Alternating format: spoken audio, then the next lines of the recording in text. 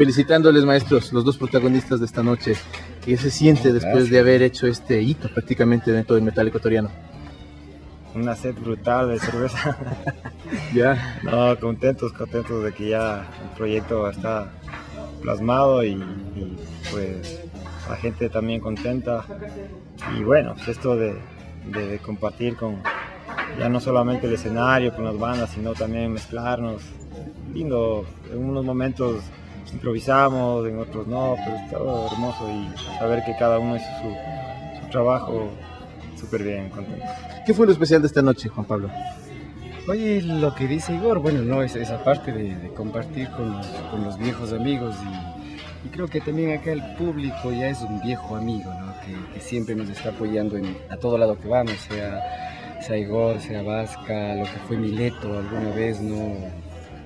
Creo que eso realmente es parte de, la historia de nuestro país, entonces fue realmente un honor haber hecho un tema con ellos, estar con el Igor, que es un loco que vaya, nos conocemos ya de años y, son cositas que a veces te hacen dar cuenta que los amigos están siempre ahí y, metiendo ese, ese, poder que a veces se necesita de, de la gente, ¿no?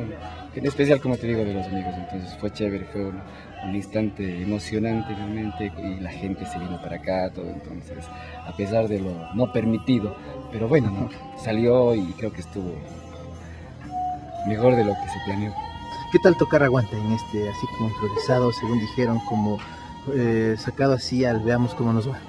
Sí, eh, hermoso, porque no, no, no, hay, hay, hay, hay el el primer vocalista del público. La voz del Paul está en el público. Y nosotros estábamos haciendo coros, estaba bien, más allá de, de, que toquemos con, con, el corazón y toda nuestra música, creo que es un show completo. a mí me pareció el trabajo de Vasca hoy fenomenal. Entender desde la perspectiva ya acústica a una banda que, se ha fajado los escenarios tocando eléctrico y que tengan la posibilidad musical de, plasmarlo con un chelista es, no lo hace cualquiera y, por eso son quien son.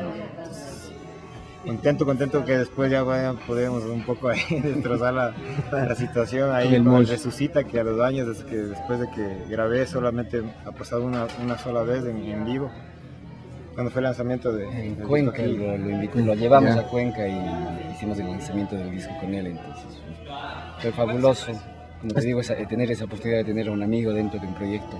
Esta fue la segunda vez Son entonces. cosas que, te llenan y te dejan grandes recuerdos y esto que se pudo hacer un día también pues va a perdurar realmente en nuestros corazones y en nuestras mentes y en la gente que estuvo acá ¿no? disfrutando todo eso. Estamos Y bueno, ahora un poco a festejar y a seguir adelante tocando y, haciendo más grande la escena de Latinoamérica, porque esto no, no, no, no, no, se, no se trata solamente de de Ecuador ahora ya, ya se ha crecido, pues somos parte de una escena mundial y, y vamos, Vasca afuera, tiene que estar tocando afuera. Este año hay muchas cosas para muchos grupos y, y es, es, esto es un ejemplo de unión más que nada. es un ejemplo de que eh, no hay egos, aquí hay trabajo. Tus palabras finales, Juanito. Yo pienso que esa parte de, de, conjugar eh, distintos géneros, de conjugar esa amistad, creo que es lo ideal para sacar, sacar adelante no solo un país, ¿no? o sea, nuestro estilo, nuestra, nuestra música, el rock, el heavy metal, el, el trash, no sé, todo lo que hay acá, el death, y hoy las fusiones de Todos, todos esos géneros, ¿no? Que siempre a veces están medio, medio peleados, incluso las organizaciones mismas, a veces están peleados por aquí y por acá.